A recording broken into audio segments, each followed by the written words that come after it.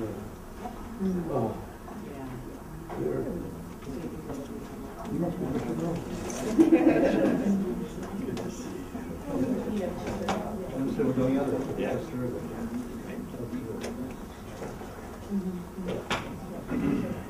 I hope you watch the hands. Good evening, everyone. Thank you so much for coming to tonight's event. Uh, I'm Terry Stratton, Director of Education and Outreach here at the Guild, and I would like to welcome you with a brief um, salute me. It's my birthday. So was my mother I would mention. Now that it's streaming across the world. Happy birthday to me. But I can't think of a better way to spend my birthday than to hear these two gentlemen tell us about their craft, their career, and anything else that comes into their mind. I'm very excited. I do want to remind you to please turn off your phones or anything that might make noise. We are streaming online, so uh, we want to keep the ambient noise to a minimum. Uh, please, no pictures. Please don't post to Facebook, no Twitter or anything during the event. We will have a section for questions and answers at the end. So once that um, the question and answer period will start, I will let you know, and then I will take questions. Once we do that, I ask that you please stand up and ask your question. That way, everybody in the room can hear you. Um, if you have any desires for people that you would like to see in future seminars, please feel free to email me.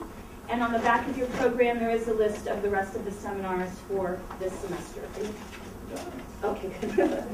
Uh, So without any further ado, I am very proud to present to you not only two wonderful writers, but two very kind and generous men, Richard Nelson and Michael Weller. And by the way, there's uh, an article outside on the table, just as you leave, I printed out without Richard's permission. It's a speech he gave at the, for for Laura Pels Foundation, and it's uh, uh, one of the best and most thorough um, statements about playwriting in the country over the last 20 years, the way it's evolved. And it puts every, I don't think anything's changed very much since he talked about it. In fact, some things have gotten a lot worse than, than they were. But he, uh, we, we'll, we'll talk a little bit about this as well. But it, it, it's, uh, it's a very good atomizing of the situation for a playwright right now. All right, how many people here are playwrights, by the way? Ah, I see, okay. An interesting group. All right, I'll start out. I'm going to ask Richard a question. I told, I warned him about this. Who do you write for? Who do I write for? Um, That's, that's a great question, and one that changes. And I I find that, that the, the- the cliche is the, is the truth, that that I write the best when I write for myself. Um, I, I find that uh, when things, when I try to push things into, into someplace, I write less well. When I'm just trying to please myself, I push myself as far as I can, and what the hell if nobody understands, or a lot of people don't understand, or whatever, that's when the work is best. But you have dramaturgs to help you correct. uh, um, Do you, do you always know where your play is going to be done when you're writing it? Um, not always, but I've been fortunate in that I've had a series of homes uh, throughout the last 20 years. Um, Where are they? Uh, I, I had a, a home, and still have it, uh, in, in England at the Royal, Shakespeare Company, which has done 20, uh, 10 of my plays over 20 years. Um, and then uh, I have had a home and continue at, at Playwrights Horizons, which uh, has done a number of plays, uh, I don't know, seven month plays or something like that, over a, a, fairly short period of time. And, and I'm right now in a, in a situation with the public theater, where I've done three plays at public in the last four years, and I have two, three more scheduled, actually. So I, I- I will, over a seven-year period, have six plays done at the, at, at the public. So a lot of plays. And, no, no, It can't be that good. so, so, I, so I have, I mean, right now, right now, for example, when I was working on it today, I'm writing a play. Not only do I know where the play will be done, I know when the play will be done, and I know who will be in it before I write it, which is a really thrilling, and rare case because there's these series of a series of plays at the public, all based around the same group of people called the Apple Family. And, and, the, and the first play was called uh, The Hopey Changey Thing. The second one was called Sweet and Sad. And then, and then I'm working on the third one right now. And they, I've had a commitment from the public, from Oskar Eustis and the public, i- in which he's committed to doing the plays before they're written. And what's, it- what's, so each of the plays set, has the exact same set. So I have the same set, I have the same actors, same character, playing the same characters, but a different play each time. And then the, and then the odd thing is that each play uh, uh, will open, or has opened, on the day that it is set. That's, uh, so it's an extremely immediate experience. For example, the last one, Sweet and Sad, uh, was written, was, was set on and opened on this September 11th, 2011, the 10th anniversary. And, and the next play will open on November 6th, 2012, which is our election day. And it's set on that day. So I'm writing a play set. Right now it's set in the future that will open in the present and then run in the past. Uh, Are they political? Uh, Depends on what you mean. Why don't you explain? What, what do you mean by that? Well, no, I want to know what you would mean by political. It's, it's, a- it's, it's a, it's a long explanation. Well, Okay. we got an hour.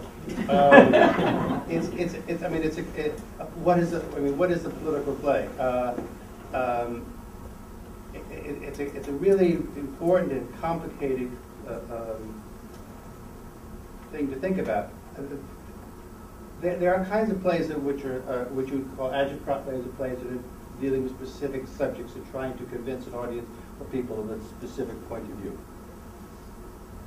That doesn't interest me. That, that has value, but it doesn't interest me. It doesn't interest me basically for, for, for the simple reason that I think it's an abstraction of theater as opposed to an essential element of theater. It doesn't use theater for what it really is. Theater for me, and I, I, I used to tell my students this all the time when I taught for a very short period of time, uh, theater is the only uh, uh, artistic form that uses the entire live human being as its expression. The entire live human being, in front of live people. Live people, live people in the same room. That is the essence of theater for me. So, um, what that, what, what that, what that means is that theater also carries with it, by its very nature, a point of view of the world. And that point of view is, is humanistic. Theater is a humanist art, form by its very nature, by what it is. Human beings at the center. So it's not ideas that are at the center. It's not an ideology that is at the center. It's, it's not a it's not an agenda that's at the center. It's the complexity and the, confusions and ambiguities of human beings that are at the center. So when I say that a, you know an agitprop or a play that has a certain political agenda, I say I say it as abstraction of you because it doesn't use really the essence of theater. It just takes an element of it, which is a presentation of something other, and doesn't really use really what it uniquely is. Now, put that set aside, I believe that if you have a human being and you put him on him or her on the stage, that human being exists in a society, in a culture, in a world, and, and, and you want to deal with that individual dealing or reflecting or confused about that society and that in that world. So, in that sense, I, my plays have a, a my plays have a, a, a, political place in the sense that, in the sense that that, that, that, my characters, by my own life experience and the world that I, I, I live in, my characters have political concerns. But those concerns aren't necessarily what my plays are about, but the characters have political. So is that a political play, or is you know I, I don't know. It, it's a it, it's a it's it's a it's, it's a, such a big issue that that when we through the 1990s and we watched the final stages of what I would say the end of ideologies. And if you felt as a playwright like I did, a responsibility of somehow putting on stage a, a world that reflected the, the culture and country that I lived in, then it was it was it became an interesting it, it, dramaturgical playwright issue of how do you how do you hold that together? How do you, how do you put a society on stage with, with, with, without an ideological framework? Hmm. It Became a very interesting question. And it's one that's still being debated and discussed, or attempted at. The playwright, our friend David Hare, David Hare has turned his sights in a very different way, trying to solve the same problem, which is in a journalistic format. His mo- most recent plays, most of his most recent plays, he's actually gone out and interviewed things, interviewed people, and put the interviews together to create a kind of journalistic framework, which is a non-ideological framework, but one that deals with social, immediate social issues. I've, I've tried in these Apple family plays to, to make something so immediate so, so, so in which the room is all experiencing exactly what my characters are experiencing, is what's happening in this election, or how do we deal with the 10th anniversary of 9/11. That, that's, that's somehow the very nature of the society and social issues are just, uh, are given within the conversation of that room, if that makes sense. Yeah, yeah, I mean, I felt when I watched it that they were people who were reflecting politics without knowing they were.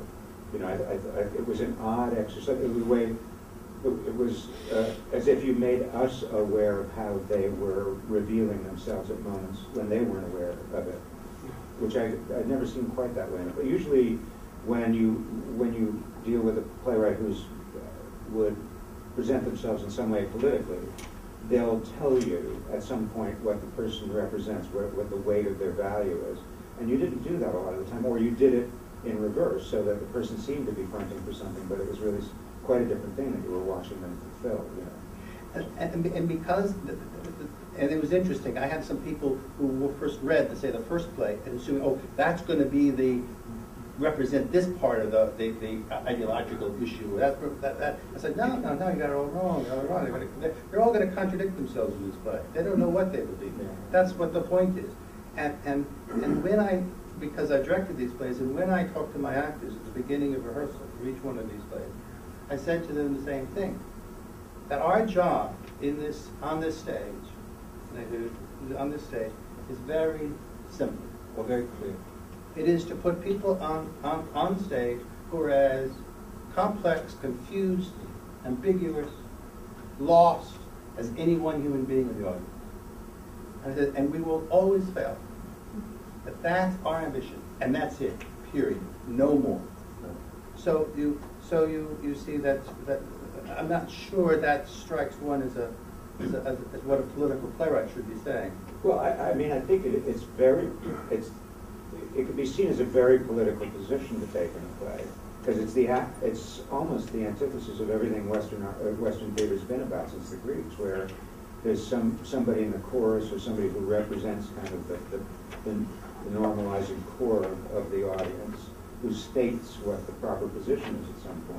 And that, that way you gain what, what, what maybe a visual artist would gain by perspective, everything falls into the right perspective, you know.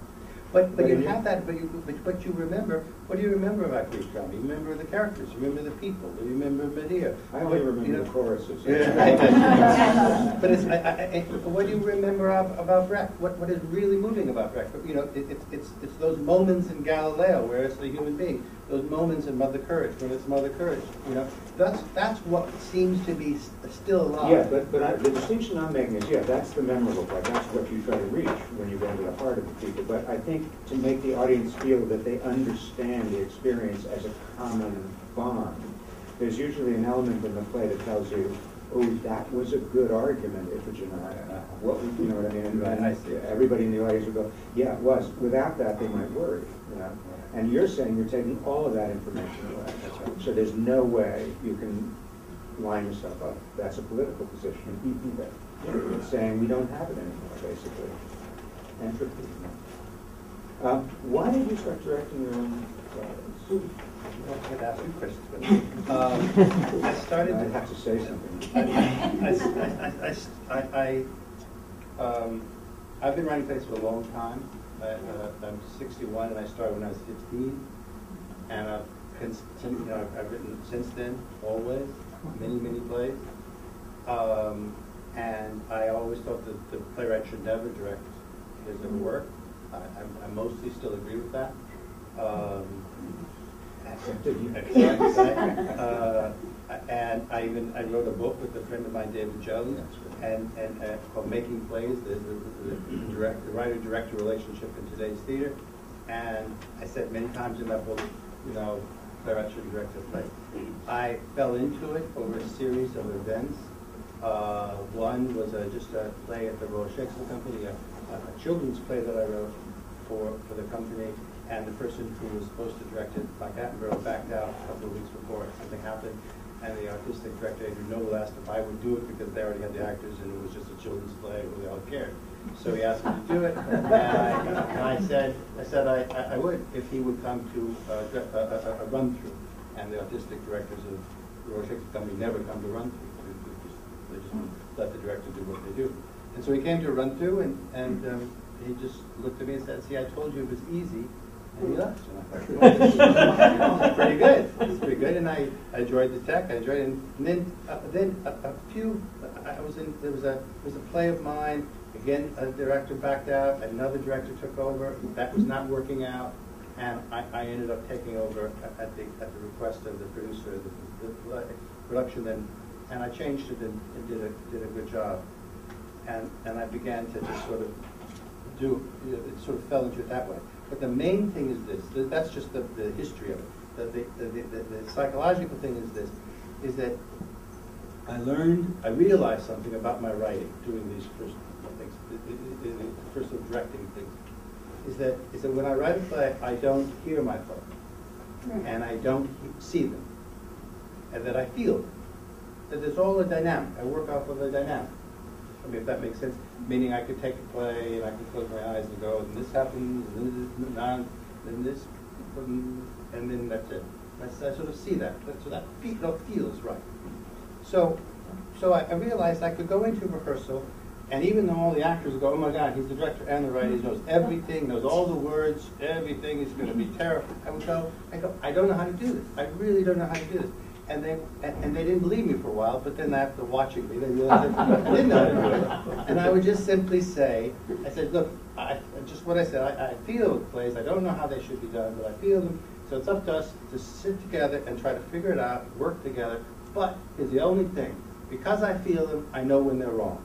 I know when something's wrong. So when it's wrong, just trust me. I say it's wrong, and we'll try something else. That's all I ask. And so we, we so, and, and I tried to break through every kind of some authority uh, position because there was way too much authority to be in the room. So I, you know, never sat behind the tables, you know, music stand, never quoted a line correctly, all of those kinds of things to make sure that everybody didn't think I was just pushing things on. But I, so I felt that, so, so I, I, I, I found a way of, of working. And having sat for twenty-some years beside some of the best directors in the world directing my work, I've learned a lot and watched a lot and seen a lot. And some things I've learned good and some things I've learned, I, I could see where they made mistakes. And always they made mistakes. The mistake was always the same. The mistake was they didn't listen. They didn't listen to the actors. Hmm. The actors, the actors, they might have a bad idea, but figure out where that bad idea is coming from. If you trust that actor, if you feel that that actor is, is, is, is in the right Mm. place, is coming from the right place. Uh, not a selfish place, but, a, but trying to do, do the play. And, and um, uh, uh, so I, um, I just, just forgot my thought. I, I can't help No. it. Anyway, anyway, so, so uh, I I started, you know, I just started uh, uh, directing plays, um, and. Uh, uh, And rumor, by the way, rumor has it, um, I, because I know a lot of actors who've been in his plays, it's very irritating. They all think he's the best director they've ever worked with. Uh, So, uh, he's, uh, because I, I, I also d- don't think you should direct your own plays, but Richard is a, an exception to that rule. Most playwrights I've seen are, are, are a wonderful proof that you shouldn't. So, we talked a little bit about, um, about discussing how theater's changed since, we- Richard and I both met in seventy-five or so. right? I think, I, I, I know exactly where we met, you don't, you don't remember, but we met, we met in nineteen seventy. Already critical. Yeah, Yeah. nineteen seventy-eight. Mhm. And we met, I was just there last week, yep, I'm, we met at at Williamstown in the summer, and, uh, at the, uh, maybe seventy-seven. Maybe seventy-seven, actually. At Williamstown, uh, on, on the steps. That's the Pine Mountain School. Uh, well, first we met on the steps of the main street there. There's a little steps. Walked Well, a long time ago. He made an impression, a very important impression. And he's also, also just to say, which I have, have, I haven't said, he's just, just, he's an extremely generous man. You, uh, uh, you must know that the mentoring that, that Mike has done for years and years and years with, with emerging playwrights. But, but that goes back to me. You know, he was, a, he was, a, he was, a, he was very generous to me. He, he, he, and there was one time because he was he was making infinitely more money than I was, and, and and there was one time where he that I was having some difficulty about something, and he was in England doing a movie, and he said, "I'll call you. I thought I got to talk to you about." it. He says, "You know, this is a movie that they'll let me run up this dab on this phone bill. I can just call you call from the hotel room." And we were on the phone for like an hour. I have no idea how much that cost Milos or whoever was producing it, but uh, uh, uh, but it's just a really generous man. I also have no memory, I can't remember. so much generosity. So, so talk about a little bit about how, how you're, you see your career, the, the theater changing in the time that you've been in, in the business. Uh, well, we both, I mean, we both hit the nonprofit theater in America at the time of, uh, pretty much, uh, uh, and, and it's not quite birth for me, but close enough to have seen the, seen the baby. Um, and the hopes for what the nonprofit theater could be and where it was coming from and where it was being, what was driving it. And um, the, it, it was a, it was a reaction to the commercial theater. It wasn't attempting to be the minor leagues of the commercial theater. It was the, it was the, it was the, a real alternative. And uh, it was arti- artist driven by and large. The heads of the theaters were artists or people who, who, who, who certainly had the artist's uh, uh, interests at heart ambitions with, the- and I mean just not playwrights, but also directors, but, and, and certainly actors. Our efforts to creating acting companies where actors could work out, get a living wage to support their families and to have careers in one place that were not, perhaps not as, as, as pathetic as, as, as had been the case. And, um, and that, uh, uh, that's, that was the hope. And for one reason or another, I, I think I watched that hope fade. I think, I think the, when, at, uh, when I taught students, you know, I would tell them, you know, don't look at certain theaters as if they were, had existed forever. Look at them, look that they could collapse and start your own, or, or look, or, or, or rethink things, because inch by inch by inch, by and large, the not for various reasons, some decent reasons, understandable reasons, that the, the, the nonprofit theaters have been co-opted uh, by the uh, uh, by the commercial theater, or co-opted into another function of which could be uh, serving some kind of a social place in the in the regional theater. You know, like oh, we have a theater, as opposed to a theater of of huge artistic ambition. And I see that collapsed everywhere. I see that collapse I mean, in, in organizations, organizations like the TCG, Theater Communications Group, which has changed its focus over the last 20 years from one of art, uh, efforts at artistic excellence to a broad range, the more the merrier, which is which is a fine but a very different approach.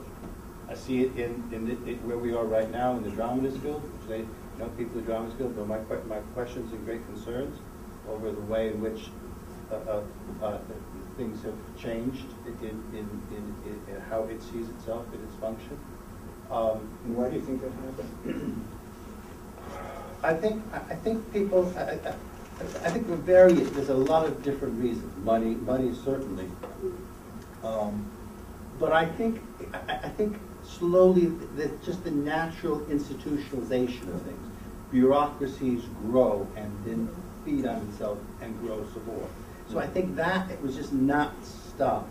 You have, You know, one of the in- in- interesting differences between the major theaters in England and the major theaters here is that in England, someone is appointed to be artistic director for maybe two terms. Terms are about five years. So no one runs a theater in England for more than 10 years. So they're actually, it's sort of their watch as opposed to their theater. And what that does is regenerate, hopefully, those theaters every 10 years. Someone new comes in, whatever. Here, you have people, you have theaters which are, have been being run by the same people for many, many, many years. And understandably, those people want the theaters to grow with their own age, their own ambition, their size. They want a better salary, they want this and that, and everything grows and grows and grows out of proportion. And so you, you lose the, um, you lose basically the thrust. But on top of that, and this is just seriously damaging, is that, is that we have, we as artists have lost our voice within these theaters. They are mostly management run, and there are very few. Going back to our youth, Mm. you look at the, you look at you look at most of the major theaters in America, and which which would have employed a number of artists on salary within those theaters, either as an acting company or sometimes as a playwright working at. I worked as the literary manager, dramaturg at a number, a few different theaters around the country. Um, they, they, they were there were associate directors who were also directing all the certain plays and various things. But slowly, the artists have become separated, separated from the um, from the theaters, and that's that's a, that's a that, that's a, a, a tragedy for us. And we've lost our voice in terms of arguing our place in. Yeah, I think also that, I think decision-making has become a committee function rather than an individual function. I remember recently submitting a play somewhere, I won't say where, and um, the artistic director very proudly said, I think this play is fabulous, but we, sub- we, we decide by committee. So ah. your play is being read by a lot of people, mm. and we'll decide collectively whether we want to do it or not. And he was very proud of it, you know, and I, are you actually mm. saying this is a good, I mean, why can't you just say you like it? Let's- The when, a, a, a, a, a true story, when I wrote a play called Loose Ends, I sent it to the arena stage. Five days later, I sent it to one man who was running the theater. Five days later, I got a, a call back that said, we're doing your play in September. So obviously he read it and he just said, we're going to do this. That would not happen now, could not happen now. And that's not good. I mean, I think the fact is, uh, I think, I'm going to quote somebody very high up, I think it it's Toynbee, who said, a great institution is the, is the long shadow of one great man. And if that person can't, uh, by man, I mean in the, in the, in the, in the sense of human being, not, not male.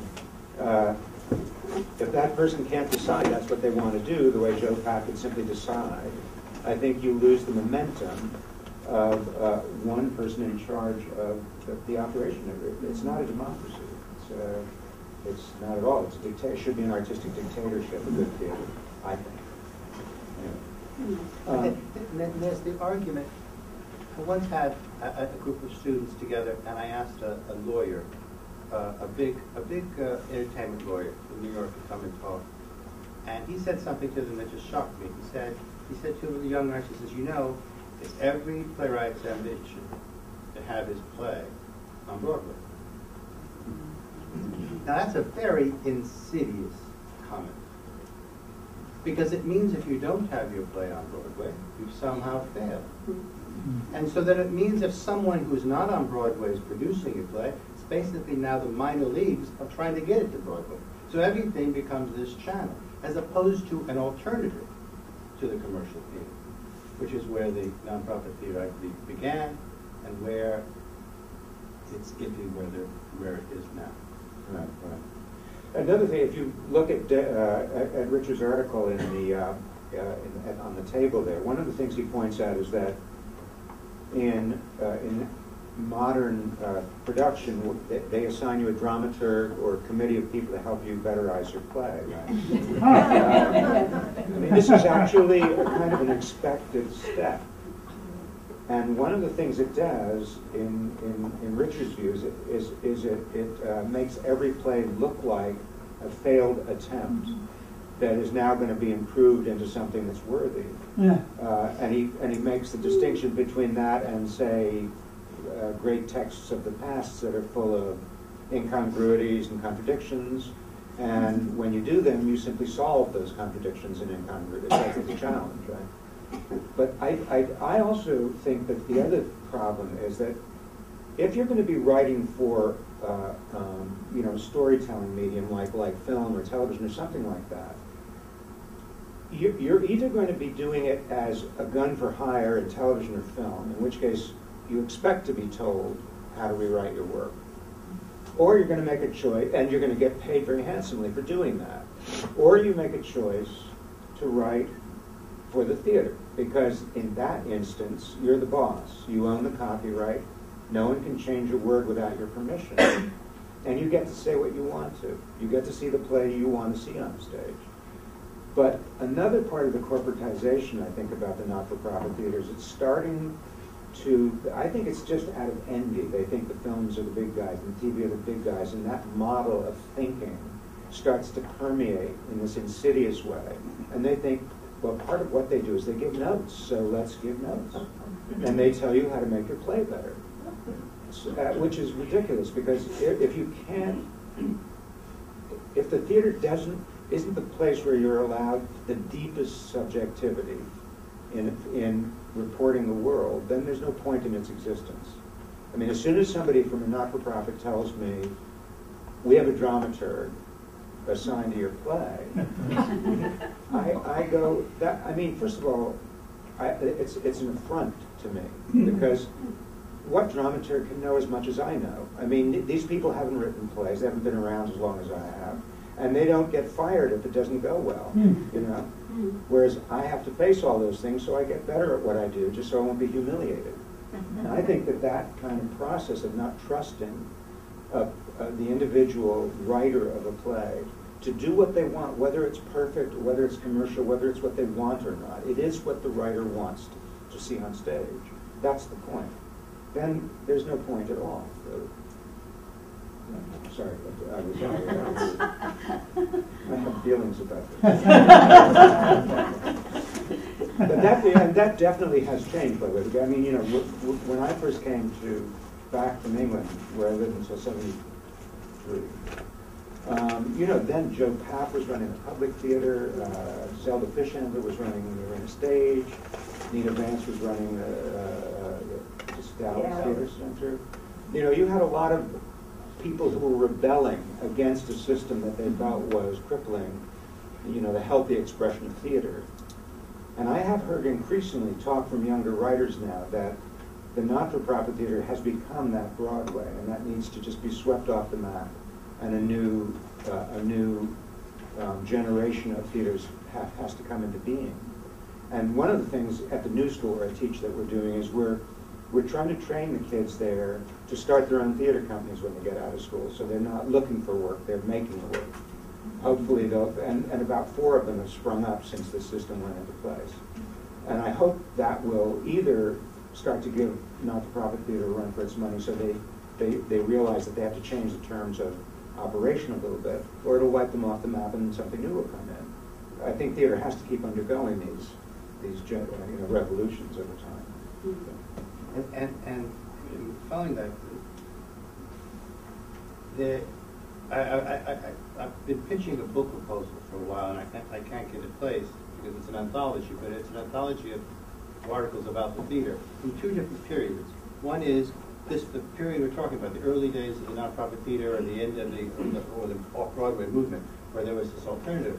But if you go 50 years earlier to, to 1910 to 1925 in the American theater. There was a huge movement at, at that time in the same way, arguing the same thing. Uh, for example, in like 1914, I think, uh, uh, the, the New York Times listed that there were 300 books, books published on the theater alone in the United States. It's just uh, what an anthology from that time, but just just some titles from the from from the 1950, 1960, 1970. The changing drama, contributions and, and tendencies. the art theater, discussion of its ideals, its organizations, and its promise as a corrective for present-day evils in the commercial theater. The civic theater in relationship to the redemption of leisure, a book of suggestions. Um, the Playhouse and the Play, and other addresses concerning the theater and democracy in America. The- the- the ar- the ar- uh, On and on and on, there's many, many more, it's fascinating, the arguments being made. And what came out of that in the 19, 1910, 1925 was the, was the, uh, uh, the little theater uh, movement, or the art theater movement. And out of that, of course, came, came Eugene O'Neill and a whole, the, the first real wave of great American playwriting. So, so my argument, our argument is with this book, because I was working on two other people, is exactly what Michael was just saying. That, that maybe there's a 50-year cycle because it's 50 years, 50 years, and now 50 years later. And so, so maybe, maybe it's just maybe these things have a wave and they break and then they corrupt themselves and, and whatever. And now, because more and more uh, talk of we need new models, we need, need new alter- ways of being alternative to, to this co-opting that's going on. Yeah, no, I, re- you know, it's, I, re- I was remembering uh, a, a little talk I, I saw Jose Quintero give at a TCG conference. He was a very uh, dramatic man, and he was saying how when he started that uh, theater and did, did O'Neill's plays on Bleecker Street, he would go up to, to, to Washington Square with a, with a, uh, you know, with a sign and say, "Come on down, there's a play coming here by this guy Eugene O'Neill. You got to see it." And he'd get people in. He said it's free. You can contribute when it's over. And uh, he would go around with a. He said he'd go around with a metal cup, and he wouldn't look at the people you know, because he couldn't stand to know what they they were giving him. But whenever he heard a clink, he was disappointed because that was a coin. But when he felt the kind of swishy thing, that was a dollar bill, and he was very very happy. He said we would, we would be overjoyed when we came away with seven dollars for the evening. And then he looked around, and this was all these at the in the heyday of not-for-profit at a conference where they pay two hundred fifty dollars to come and stay in a hotel and hear about the greatness of not-for-profit. And he looked around at the entire audience. He said, "And you people all expect money." You know, that, that was his conclusion. And I realized that the difference between somebody who really gave his life to do what he wanted to do, he didn't think of it as a career, which it would be nice if it was, and it's nice in Europe when you can do it that way. But I also think there's another side of this, you know. Uh, it, it may seem ironic coming from somebody who's been successful in the business, but, but it, my first teacher was uh, an Indian flautist, Su- Sushil Mukherjee. And he said when I was 14, he said, you know, listen, if you're going to go into the arts, you have to understand something. It's not a career. It's a way of living. And be content with that. Find a way of living in the arts. If you try to make a career of it and you fail, you'll be very, very, very disappointed. But if you live in the arts, you can't fail. So, just for what it's worth, that's uh, an addition. Have we covered an hour yet? But uh, uh, just following on that, uh, there's- there's another thrust besides besides the the the uh, uh, starting new theaters and new theater models. There's a- something that I've been arguing for some time, and and and gotten a little bit of traction. But it's a different way of looking at the theaters that already exist. That, you know, there's a lot of people, in, in, in, Mike was even implying a second ago that, you know, in, in other countries and certainly in Europe, there's much more money given to the theater, given the arts in America. You know, that's really not true. Probably, I would say that, that, that probably more money, more public money is given to the theater or the arts in the United States than any other country in the world. The difference is that the way in which it's given.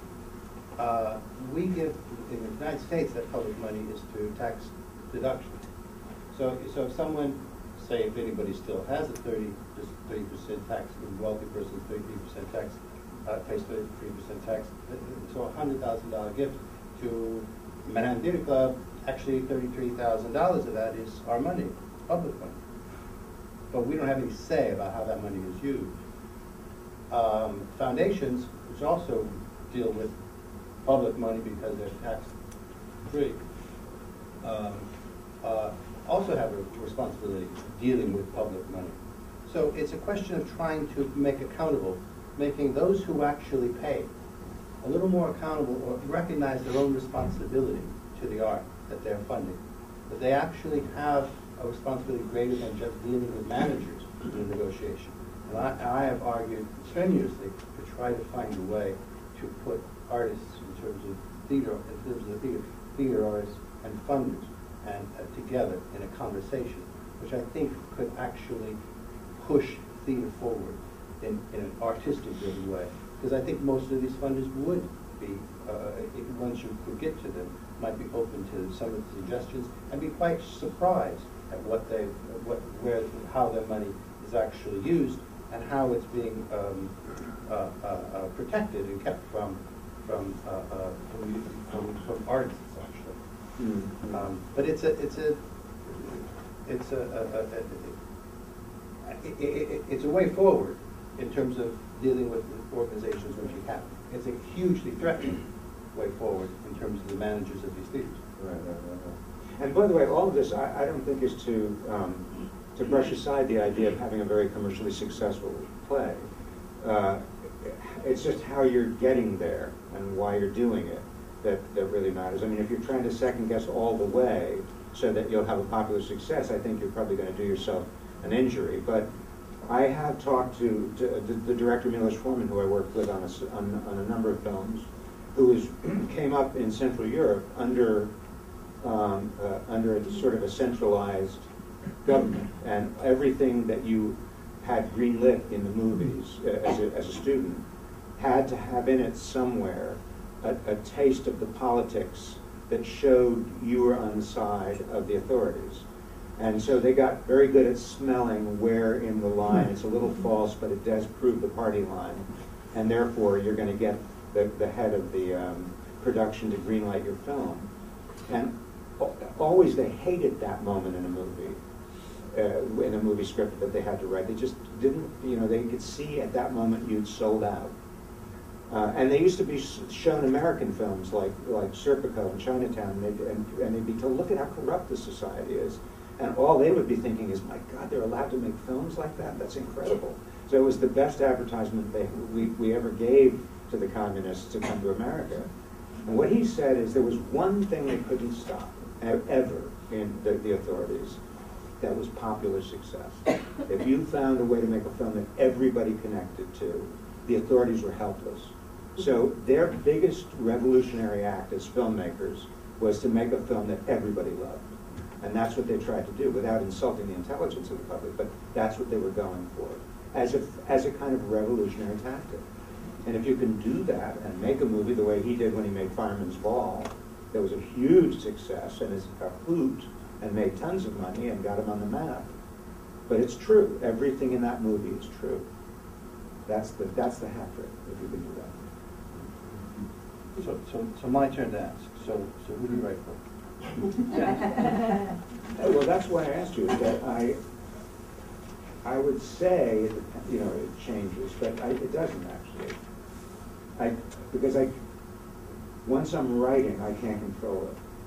You know, once, it- once I start, it just becomes me. And if I try, it's awful. So, uh, I, I write what I can. I, I mean, I'm always trying to write for everybody. But, I- but I have a bad misunderstanding about who everybody is. I think they're all kind of like me. No, I mean, I really can't, I've talked to writers um, who say they, they write very specifically for an audience. I've written one child, play for children, and I wrote for kids. But the only discipline I gave myself is that something had to happen every minute. There had to be some kind of action, because they're not going to listen for long, but these are for five and six-year-olds. Um, and that was the only discipline I gave myself. But otherwise, I wrote the same. And actually, some of the people, some of the places it was done said, "That's kind of like a little twisted, you know, what you wrote there." I That's just how I write. You know, I can't help that. So that that was a children's version of it. But I don't think about, you know, if somebody said, unless it's like write this movie for a lot of money and it's really stupid, then I then I'll write a stupid movie. But that's not writing. That's that's that's toil. And uh, so what, you've, you've, you've had a. It's had not a- easy, is had it, a- asking the I question? know, I gotta- I gotta- I gotta. Um, So, uh, so what, what brings you constantly back to the theater? You have, a- you've had a, I mean, I I showed you, a- I I brought out a a book from my, my bookcase, nineteen seventy-one, of uh, Mike Weller's Cancer. It's, uh, So you, you've, long, long, long career, but why, what gives, why do you, what brings you back to the theater? Besides ownership of the property? Well, that's a good reason, you know, I mean, the fact is they can't, they can't take it away from you, and once it's there, it can be done a lot of different times. So even if it's not good in one production, it can be good in another one. You know, you have a lot of chances to make, to prove it, right? And also, there's a, there's a certain thing, I mean, everybody here's a playwright, I mean, a lot of people here are playwrights. You know when you get in a room with actors and you're discovering things together, and then you're putting up a show, and people are coming to see it, it's all very immediate. And I, there's a kind of high about that, about the momentum of it, that doesn't exist in other mediums, where you really, you know, you film, you stop, you edit. How was that take? No, let's do it again. Wait, there was a shadow, there's a boom mic, let's do it again tomorrow. You know, that drives me nuts. And then you never get to see the, the, the, the, the, the um, performance flow from beginning to end. The actors never get to take over and make it their own. And I like all that. You know, I like to see an actor do things I never anticipated with a, with a line, with a scene. Uh, I like to see the thing unfolding and go, God, there's a whole scene here I didn't do, I could put it in. That's Mm. all great stuff, you know. I like that. And every, and, and I like to see audiences watching that. I like how, how different they are every night. You know, there's some nights where it's like the audience that ate its young. They just sit there. and go, "Oh my God." And then the next night, the same play. You can't even see. I mean, we'll, we'll go back and go, oh, they really played it great tonight. But you know, you don't know why. The next night they're roaring and they're just hmm. totally involved in it. The mystery of that communion in, in, a, in a performance is, to me, a really exciting thing to watch over and over again. There's a sort of uh, sort of really ineffable quality about the contact that happens when it's when it's good, when, it, when it's going right. And it's a really interesting thing when it's not to try to figure out what what's not functioning. What did you do wrong? What did you overlook? What have, what haven't you made clear? What's not interesting? All that kind of stuff. I like that. Isn't it, is there something more in terms of just the form itself of theater? Because you, you, you, you, you, you've written plays in all sorts of forms. You've, you've got, Ballad of Soapy Smith uh, is is sort of an epic, you've written musicals, you've written, uh, obviously, uh, very sort of domestic plays, you've written, you've written uh, uh, a, a, a play about an imaginary uh, uh, cartoonist, cartoonist, Yeah. yeah, know, uh, imaginary characters. Uh, but you, so, so theatrically, you, you keep going at, at, at the form in, from different directions. Yeah. That, that, that's, that, Oh, I like to mess around, you know, with, with stuff. And I also like to get a sound in my head, a style in my head, or a sound or something, and channel it. You know, I like I like the idea of pretending. Well, you've done that. You know, you've done like like uh, uh, old time farces, but they're Richard Nelson versions of it. Right? And I like that. I like to kind of try to I like to try to channel an old form or a strange form or an unusual form, and see how it comes out through me. And then, and then you see it develop on stage, and it's wild. You know, like you wrote that. It, it, it wasn't conscious completely. That's the other thing when you write. I think there's always a conscious plan in when you say about writing, but then something else takes over. You know, the ghost enters it if you're lucky. And when you see that happen on stage, the, the part that you didn't know was going on, and you go, oh my God, you know, when it starts to, when you, it's, you start to realize what you've actually done. You, it, it, well, I mean, it can be terrifying because you realize like, uh, like, there's a part of you you didn't know about that's really bad. You know, you know that you see it's on stage now and it's really bad. And there's other times when you go, man, I didn't know I could do that. That's great. Mm. So that discovery is, is, is really, you know, that's worth living for. And right. And, and, the, and the, the, the same question you asked me in terms of politics, where you, where your work fits within, in Ah. the political world. Well, I, you know, I wanted to write political theater early on. I really wanted to write political theater. I, li- I moved to England when I was when, 1966 and studied there. And everything, there, there was a, a lot of very political writing happening. John Arden, uh, John Osborne in a different way, uh, Arnold Wesker, Bernard Kops, a lot of people like this were working. And then I went to Venice for the Biennale, where the Berliner Ensemble Company was doing uh, Three Penny Opera, Coriolanus, and Arturo Ui, those three productions. And I was floored by it. I've never seen theater like this in my life. It was perfect. I mean, the tiniest character in the crowd was doing something so specific. You understood everything about his life just by the way he was reacting to a speech. So I, de- I, I decided I'm going to join the Berliner Ensemble, and I'm going to, that's my future. So I found out where Helena Weigel was staying. I don't know if I've ever told you this story. No, I found out where she was staying at the Excelsior Hotel. And I camped outside her door. And they tried to get me away, you know, these very polite Italian, you know, hotel workers tried to, you know, reason with me. And I said, no, no, no, I'm, I'm waiting for Miss Weigel. So she finally came with this entourage behind her. She said, "Oh, you're the American that's making all the trouble. Well, come on." and she invited me in and poured me some sherry and said, "So now tell me, wh- what do you want to do?" I said, "Well, I want to work for the Berliner Ensemble. I'll do anything. I'll sweep floors. I'll, you know, whatever." And she said, uh, "Oh, this is so charming. This this American enthusiasm. Um, you, of course, you know German, yes." I said, "No, no, no, but I can. I'm very quick." And you've read, of course, all of Marx. And I went, "Well, we did. I, there was one lecture in it, you know, in school. I read. I think I read that chapter." She said, "Well, that's our lingua franca, at the, you know, in the Berliner Ensemble. So you have to be familiar with all the work." And here's what I would suggest. Go back to England, read all of Marx, learn German, and then I promise when you come to see me next time, I'll see what I can do. That, so that was my introduction to political theater. And uh, of course, you know, the spell wore off when I got to England again. Although I did take German, and I did learn some Brecht poems in German. And then I realized, little by little, that I I didn't believe that that political theater per se, you know, David Hare was doing Fanshen, that kind of the early work that he did. I didn't think that that was hitting it right. And that's exactly the time that I saw The Fireman's Ball, which was playing at the Curzon Cinema. And it was just about firemen putting on a ball? It, it, if you hadn't told me it was a political metaphor for Czechoslovakia, I would have just thought it was the funniest movie I'd ever seen about firemen. And that suddenly I realized was that was great political theater because it was about itself. But if you understood how to watch it, it was about everything that that you couldn't say any other way.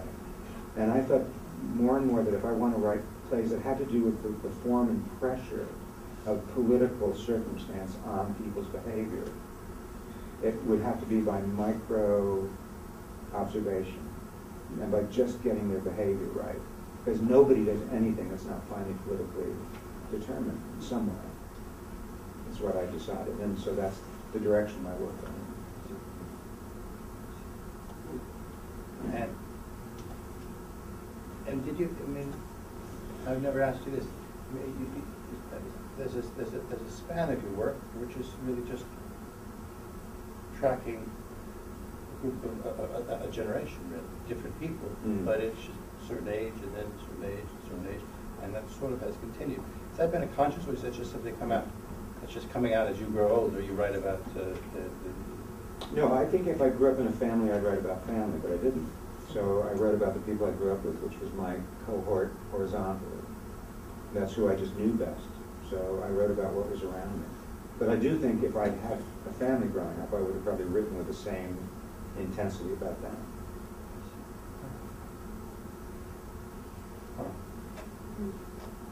about a group?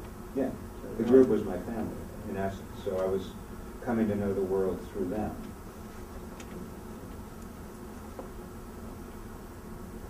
Yeah, I, I, I, I I mean, I, I mean, I too tried certain place like Some Americans Abroad, which is a play Yeah. about a group of people, or two Shakespearean actors, which is a very good an acting company. Can you hear, by the way? I'm sorry. I'm- No. No, I'm sorry. Shout. I, I, I. He was talking about two, two Shakespearean actors and some Americans abroad that are plays by, by Richard about groups of people that, he- that s- s- he was comparing to the, the groups that I wrote about. I mean, it, I mean, it's, when, when I, um, when, when I started to find a way out of a non-ideological world, and I know that sounds slightly pompous, but, but, I, but I, I think that's what I was trying to do as a writer. My, my, my, my conscious solution became one of looking for groups but which then I distilled into about a family. And, and the writer who suddenly loomed and became very, very important to me was, was Ibsen, who was a, writer had meant almost nothing to me. but I found, I suddenly realized that those plays stay like Enemy of the People, which often is seen as some kind of big epic. It's about the city, about the town, about, about the whole whatever. It's really just about family. There's two families in the play. Everybody's either in the newspaper, or everybody's in Stockmann family. That's that's it. There's one other exception, and a drunk.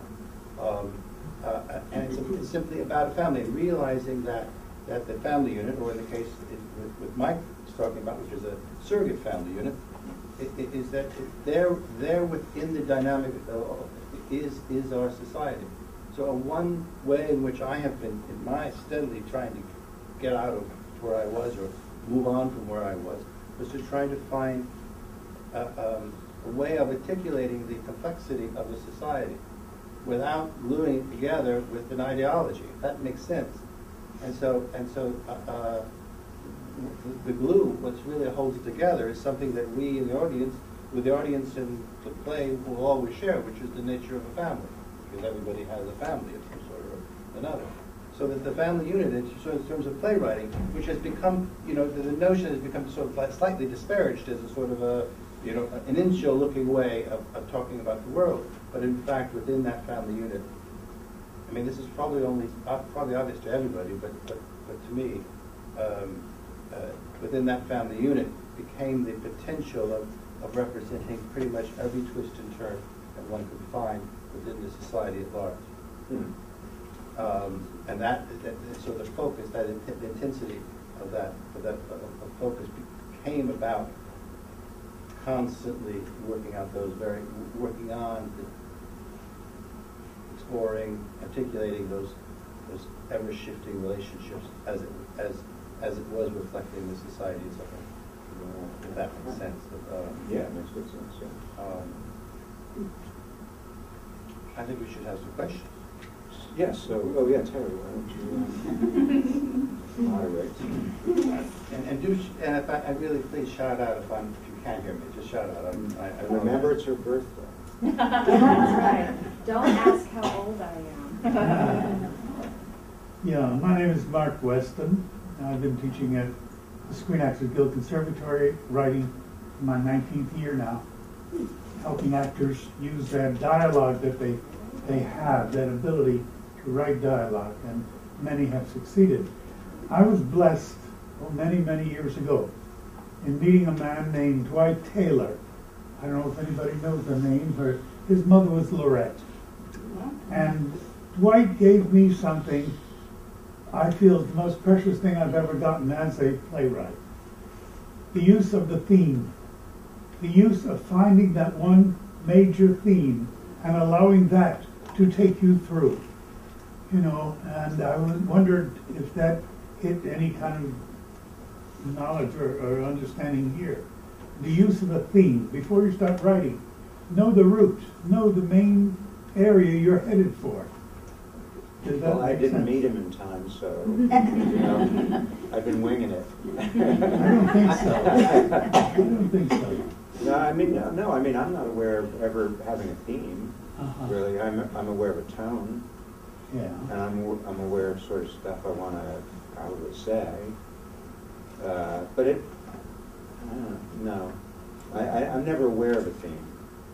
And therefore, my work is probably shallow. but- I don't I don't know. Do you think it's because you started in music that you, you hear a tone first as opposed to? No, I don't think that's what he means by theme. I mean, I know dramaturgically when people talk about theme, what they mean. It's a kind of unifying think area, you know? And that's not the way I unify. Hmm, Simple question. When you have an immediacy, when you have the date and you have the theater and you have the actors, is it easier to write at that time or, or more difficult? Uh, it's just different. It's scary because you have a, you can't get out of it. You you can't, you, you know you have to do it. So that's scary and that's liberating and that sense of confidence is thrilling. Confidence that people have in, in, in, in you and the confidence you have in yourself to do it, to get yourself into that particular. Um, so, but it's, it's, it's a different kind of, uh, uh, uh, of, of problem. Each is, a- each is different. Uh, If I have a choice, I'm very happy to know, to know that my play is gonna happen, when it's gonna happen, who's gonna happen with. I'd rather go that way than simply into a void. I'm lucky. Yes, hi. Um, in view of what you were saying earlier about, um, before you started doing it, direct, uh, writers shouldn't direct their own play. And then you sort of eased into it, so to speak.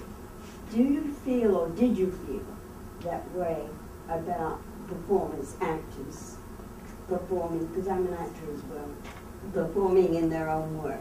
Because I've had negative and positive opinions about. I, I- mean, I would guess, I, and I'm not really, I don't really have much experience. Uh, I'm not, I'm not a performer, and I don't, I, know a number of performers who have written one-woman or one-man shows and do that sort of thing. Yeah. That, that makes sense to me, because that's all of an event, and I, I totally get that. Mm. To do, to write a play and then act in it is, I, I, I carries with it a lot of problems, a lot of complications for the director, for the other actors, the question of authority, actually what's going on. You, you have something, you, you, you have, you have a process that's about, that should be about searching, everybody searching together towards a goal. Right. But if you have one person in the room, certainly who should should be searching, who knows the answers, then you have, then you, then every, then the, the searching starts to feel bogus, I would think. So that's what I, see, that's what I meant as the playwright, that I don't have the answers, and therefore I can, I uh-huh. convince the actors that actually it's a real search, and it really is, because I don't know what, what, what I'm doing and, and, and what should be. And if, so if an actor felt the same way, they wrote it, but they don't know how to do it, and they're willing to open themselves up to a search with other actors, then I could think it would work. Yeah. But if they know, then I think that's a problem for everybody else in the room. Does that make sense? It makes sense. It hasn't been my experience that I know, a couple of things that I've done, because I learned from, oh, is that what I meant when I, and I hear the other actors bringing it out. So I know what you're saying. Yeah. Hi, gentlemen, do you know when it's time to share the work? When, when in a certain point in your writing, it's time to share the work? Or do you have different times where you're like, I just have a few scenes, someone's gotta see it? Or it's gotta be this certain point, or it depends on the personality? Well, when is the time to turn it over? Uh, I have a strong, I have strong opinions on it. I think you should turn it over when it's done. That- that- That is when you know you've done everything you can. I think what Mike was referring to, what I wrote about earlier, is this whole world where everybody is being helped to write their play. I think that's a very dangerous thing for a playwright. You should take hold of your own play and finish it. It doesn't mean then you won't change it. You don't listen to other opinions and mm-hmm. change those, but do the best you can. The moment you open up and say, I don't know how to finish my play, help me, I think you're in big trouble and uh-huh. you're opening up a huge can of worms Yes. that I don't think you should open up. That's my strong opinion. Oh, I, I, um, I have three people I send my plays to. Over, now, this has taken me forty years to find them. And, uh, and the other thousands that I've given it to, I, I didn't get any good information from them. So I found three readers that I give them, give my place to when I think there's nothing more I can do. And, uh, and I listen to what they say. I have the same. I, I have like five people who are my first readers, but only when I'm done. Are they professional? I mean, are they in the profession or are they uh, a, a mix or? They're all If very you- advanced people. You would know have what I heard of mean, them. you know. So when you say that? You would have heard of them. They're, they're all advanced So people, yeah. Not, one- one's not in the profession, there, there's a wide range from, uh, uh, you know, someone who's a designer, who's a performing technical, to someone who's a director, to various, a, a range of, of of people come. When you guys started writing, there was no internet, there was no cable television with a thousand channels, there was no video games.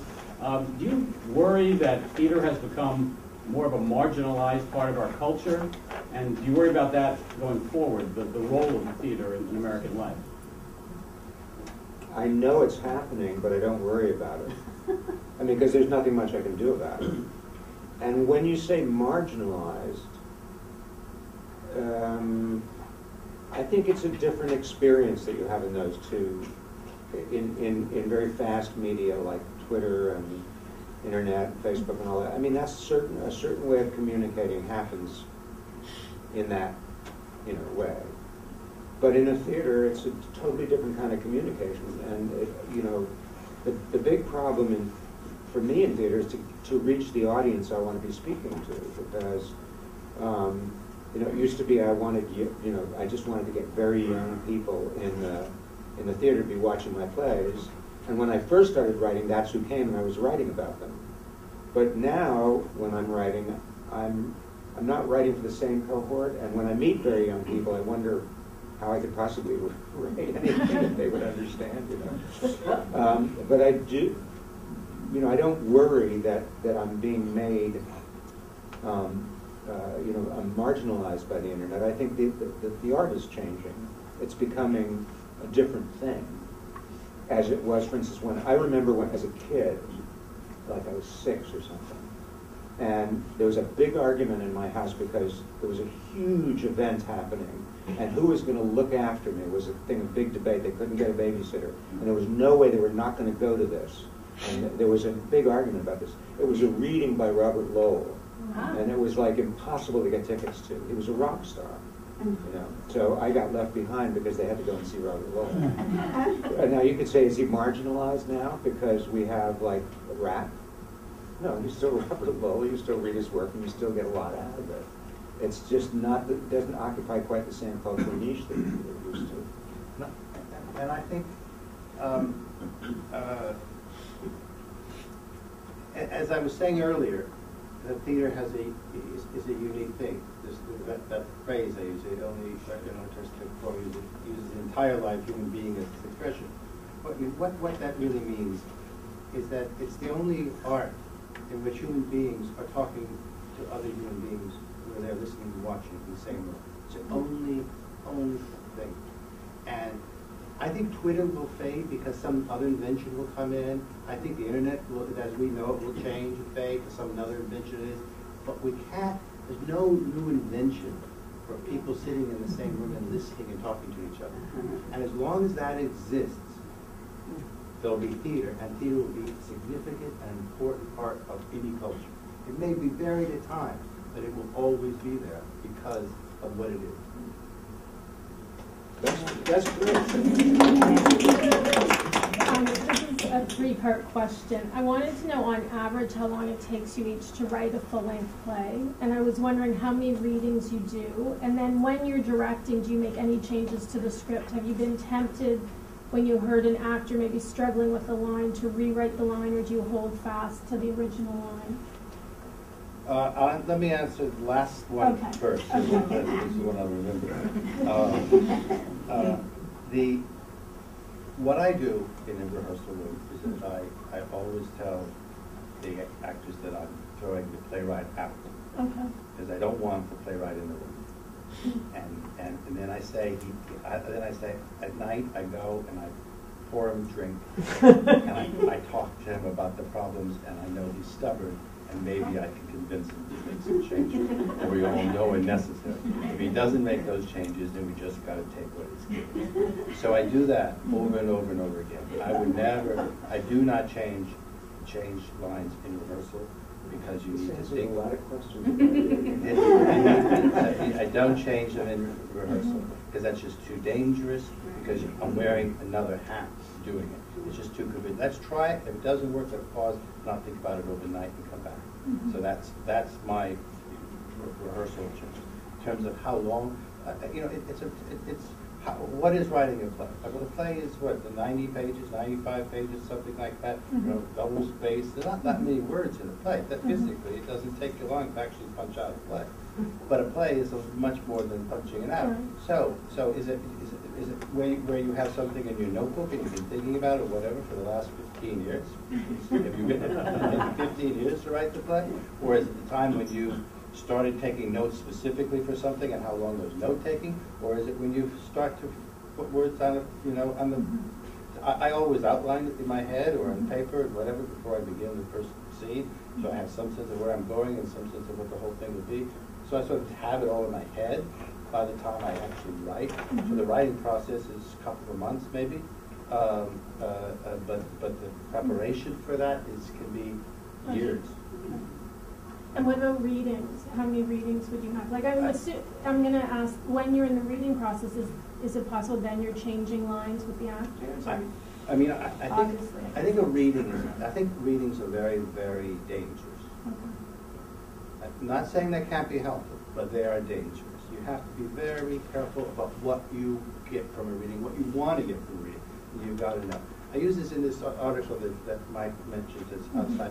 I make, I, I- I talk about how, you know, in a reading, if you have a, if you have a, a, a- a play which two people are sitting next to each other and talking to each other like this, and you do this in a reading, it makes all the sense in the world. You totally understand what's going on. But if you have a scene, much more interesting scene, I think, with five, six, or seven people moving around, getting up, whatever, who they speak to, who they don't speak to, whatever's going on, you try, if that's the scene you write, you try to do that in a reading, it's not gonna make any sense. And people, if people, you allow people to judge that, or you start judging it yourself because it's not working, because the, the format of the reading doesn't allow it to work, certain dramaturgical stru- structures, or, uh, then, then you have to be very, very careful. So it's when, I mean, it depends on what you, what I'm doing. I, I, I don't have, I, I have readings, I have readings that the theater insists after they've agreed to do it. I, I will never participate in, in person in a, in a reading for judgment. I, I won't be there, because it's just not fair, I don't want to see my work. I want, I don't want to look through people's eyes that way at my work. Um, But if they've chosen it, then sometimes it's a very useful tool to begin to sort of cast without casting. That you bring in people to see if they can do certain things and try, try certain things, and it's useful that way. So there's very, there's useful element, but in the actual writing of it, um, except for these plays that I mentioned that, that are, that I'm writing about a specific time that's still in the future, I have, it's been helpful for me because I know the writing process has to continue up to opening night, because I'm constantly changing it to fit what's happening in the day. right. So then I find having a reading, you know, uh, uh, uh, uh, useful to just mark the moment where I am in this writing process. Thank you very much. Michael, did you have? Oh, um, well, I do, I, I have to have readings, because I, you know, I don't have a theater that's sort of devoted, I, I haven't built up those relationships Richard has with theater, so if I want to interest a theater in my play, I have to arrange a reading where the artistic director st- comes and attends and stays away through from being. And, uh, Then I have to, you know, wait nervously while they say they'll do it or not, you know. But it's always an audition for the play. It's kind of like, and I've had the, the experience actually with Joe Taft. Uh, he read a play of mine years and years ago and said, no, I'm not interested in this. And then we finally got a reading together of it, and he came to that. And he said, smart rewrites, smart rewrites, I'm doing it. And I hadn't touched it. I haven't touched it. So in some respects, it's, it's, it's, it's a tool to help people who don't know how to read plays anymore realize what it is on the page. And there are a lot of people who really can't read a play. There are other people in this very room who read plays religiously. That's what they like to do, and they can get a lot of things out of the play. It's a rare quality. Um, in terms of how in terms of how long it takes to write a play, it's exactly what Richard said. Some I've had plays that I haven't figured out yet, but I've been torturing over them for I mean one of them for about almost 40 years. I just can't figure out how to do what I'm seeing. Other plays somehow focus immediately. They're just they fall into place and you write them. It's just uh, you don't know. You don't know. What about 50 words? How long did that take? Uh, uh, well, it took it took not too long to write it up to the last scene, and then I was sort of stuck, and I, I put it away. Okay. And then, but, you know, a long time after, I heard something that helped me finish it. Thank you very much. Uh, Notwithstanding directing your own work, would you speak to the director, the writer-director relationship and, and including perhaps when you like to be participating in, in, in that, or in the production, in the running of the production?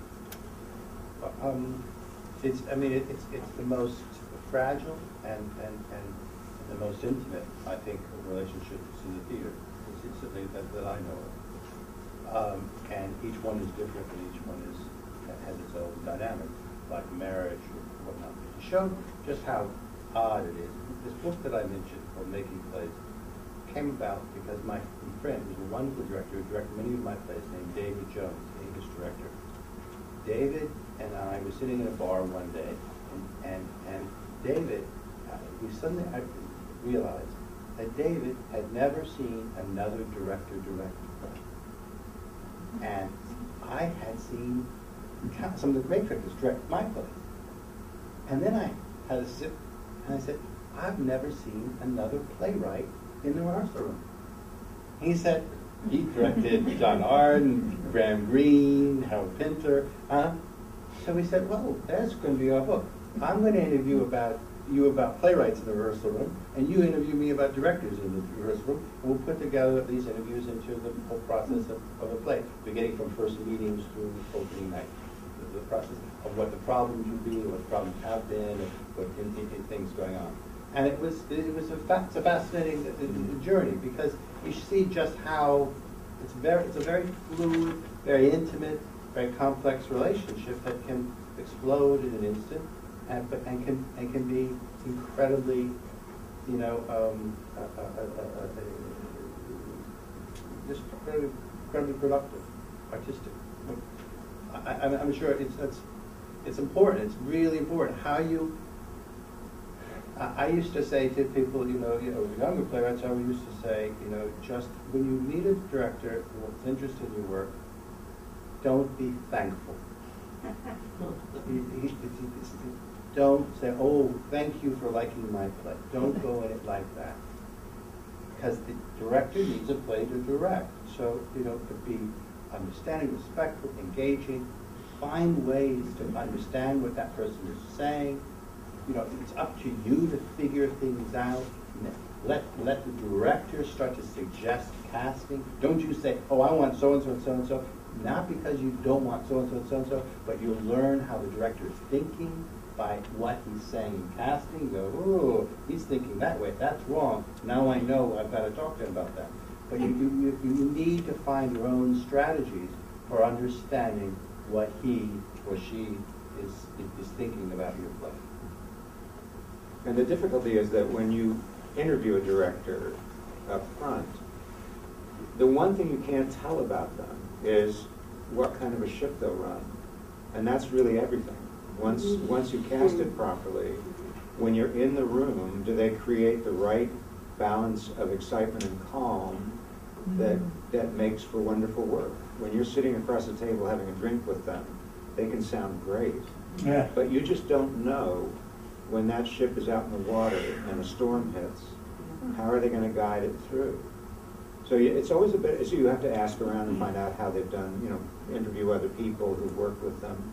And then you, you have to also hope, I mean, I've had directors who are great, but they're bad in certain ways.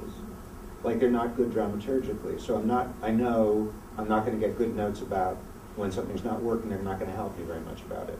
So I know going forward, I'm not choosing this, this, this, this director to guide me at all in fixing anything that's not working, but they're fantastic with actors. And they're, they're going to get wonderful performances out of them, and it's only one set, so they don't have to move things around very much, which they're not good at. So for this play, I'll use them.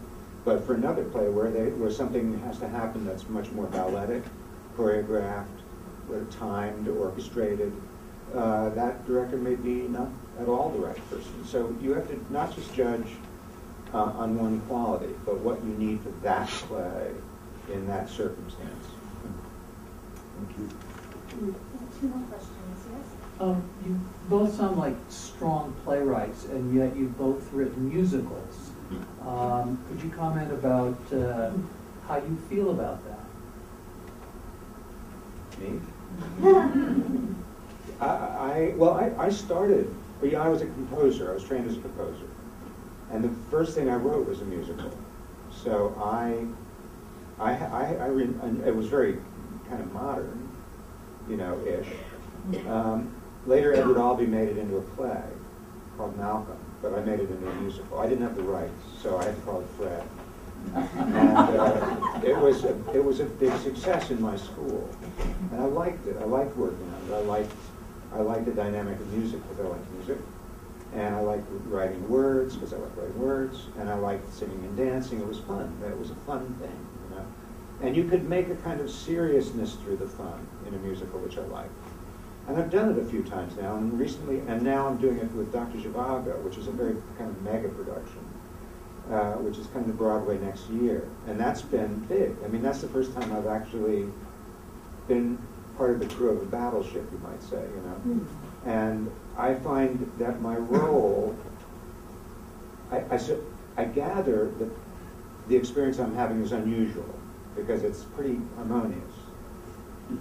But my role uh, in it seems to be, uh, uh, you know, solving problems in terms of the book writing and structure, and then basically being the therapist. I'm the calmest person in, in, among them. So I, t- I tend to run around and put fires out when there's like late night uh, things. When I get calls late at night, and I calm them down, you know. But actually, when you see it on stage, you know, and you see 2,000 people watching it, even though it, it does feel a little alien, like this is not not that much to do with me, you know. It's still kind of cool. I find.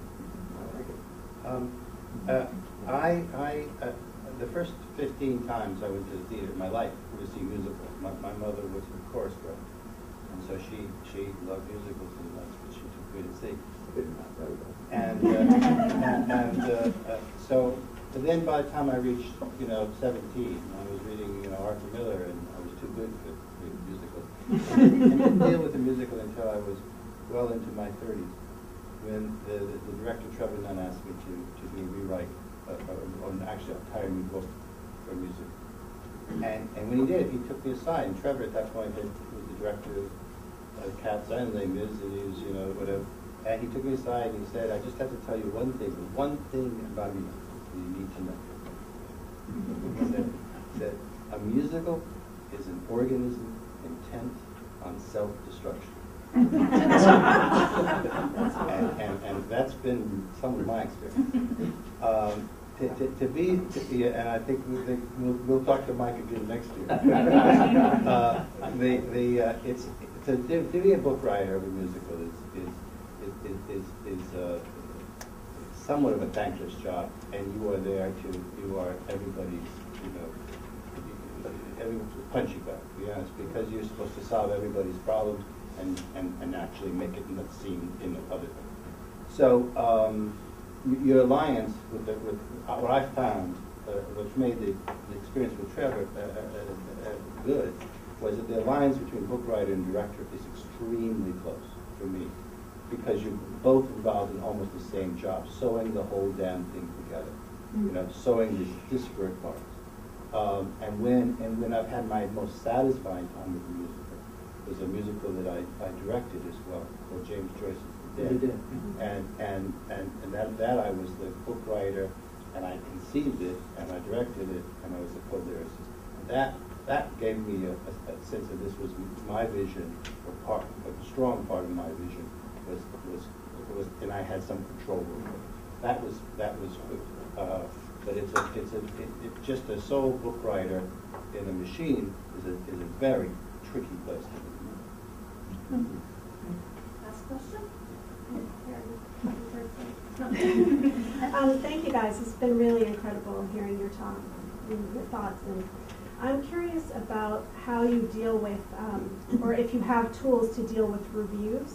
And, um, you know, I know that can be like good, yeah, but, well, because it can be, you know, like good or bad Hammer. reviews, just to Hammer. remain, yes, to sort of like keep your, keep your sanity and your, you know, protect yourselves.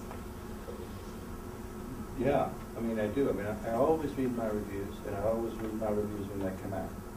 So I don't, I don't hide from them. I understand people who do, or, or hide maybe be the wrong word. They just don't care or decide, or they, they uh, but I find that, that it's, uh, uh, you know, I just rather face things and, and, and deal with them. As you get older, it doesn't get easier, but at the same time, you have some history. You have a history with individuals, you say, oh, well, look, they didn't like that either, they didn't like that either, or whatever. Uh, a, so, so you, you, you try to organize it in your head, and you're looking for people. The main goal for me is to look for people who can articulate back to me what my intentions are. Uh, I, I, it took me, I, I, as I said, I started at 15, the, the very first time that happened to me, and I can tell you, it was in 1986 in London. I took all that time, many, I wrote many, many plays, and many shows had reviews between, until 1986, and never once in all those reviews was ever my intention articulated back to me. So it was very hard, and it was a very mm-hmm. lonely feeling. And I remember the day when opening up a review of a play of mine called Principia Scriptoriae, it was done, first show done at the Royal Shakespeare Company. And I opened up a review about Michael Billington of The Guardian, and I remember where I was, and I remember opening up, and I was leaning against this wall in, in, in, in, London, and, and, and looking and saying, so I am not mad. and I seriously meant, I am not insane. Because if someone can write back to me what I intend, then I've gotten it across somehow. So I look for that. That's a very positive thing. So you can have 10 people say you're stupid, slow, hateful, whatever. My God, stop writing. If some person is articulating back your intention, that not, not saying, oh, this is great, great, but your intention, like talking back to you. That's what great criticism, for the writer at least, is. Talking back, a conversation in a way. Uh, then it's, it's really helpful, and it really is, um, pushes you forward. Hmm. Great. Well, thank you guys.